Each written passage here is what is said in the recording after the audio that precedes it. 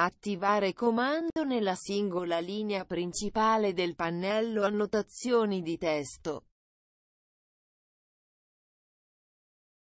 Specificare il punto iniziale, impostare l'altezza per inserire il valore numerico linea di comando, impostare la rotazione del testo, ed immettere i caratteri dalla tastiera.